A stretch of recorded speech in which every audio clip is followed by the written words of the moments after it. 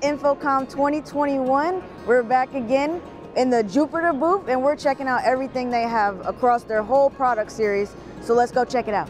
Jupiter's been around 40 years. So we were started in 1981. We invented the video wall processor. And in those 40 years, we've been continually innovating. It's been part of our DNA from the very beginning. Jupiter was the first person to do AV over IP in the early 2000s. We are the first to come up with a Windows-based processor. We have been driving innovation in the video wall space and really in the broader data visualization space since our founding. One of the things that over the last couple of years as we've been reimagining the company was how do we take that innovation, that spirit of entrepreneurship and bringing a better experience to our clients and our customers and take it to the next level. So two years ago, Jupiter kind of embarked on a path of adding vi visual systems in terms of monitors and direct view LED to our video wall processors to kind of complete that whole path all the way out to your eyeballs.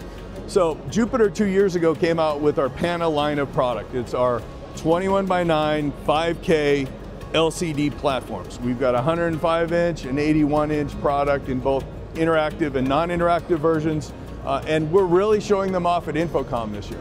The product has really been a hit in terms of interest and, and people seeing kind of a unique and a different way to, to look at data. And, and that's what we do. Gaming is adopting wider aspect ratios because that's how people actually see the world. Our field of vision is about 210 degrees wide and about 140 degrees tall.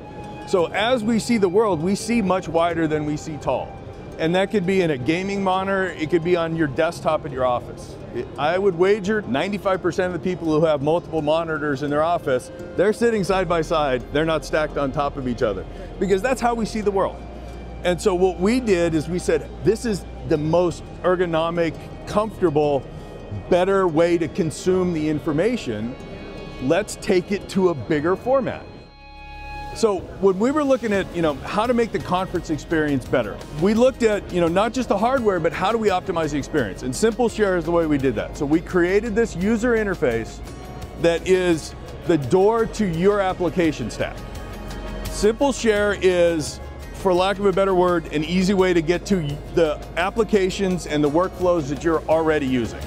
We have a calendaring function here that is tied into Active Directory, will allow you to, to calendar the meetings. You walk into the room, if your meeting's about to start, there's a big blue easy button that you push the button, your meeting starts in whatever conferencing application, whiteboard application, whatever you set up in the meeting invite. I'll just start a whiteboard session.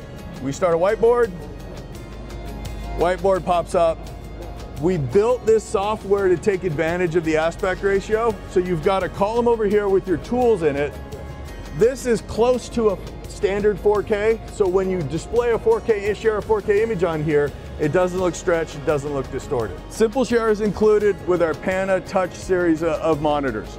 The reason we did that is we wanted these to be a solution rather than just a really cool, really big monitor. So behind us is our, our a demonstration of a kind of medium-sized control room Catalyst video wall.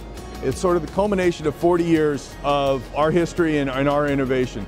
You can see the different types of feeds we're bringing in, everything from uh, IP cameras to web pages to specific applications that then the operators with at their workstations can reach through our processor and control the workstations, can control the camera feeds, can manipulate those images and that feed however they want in order to make the best decision possible given the situation.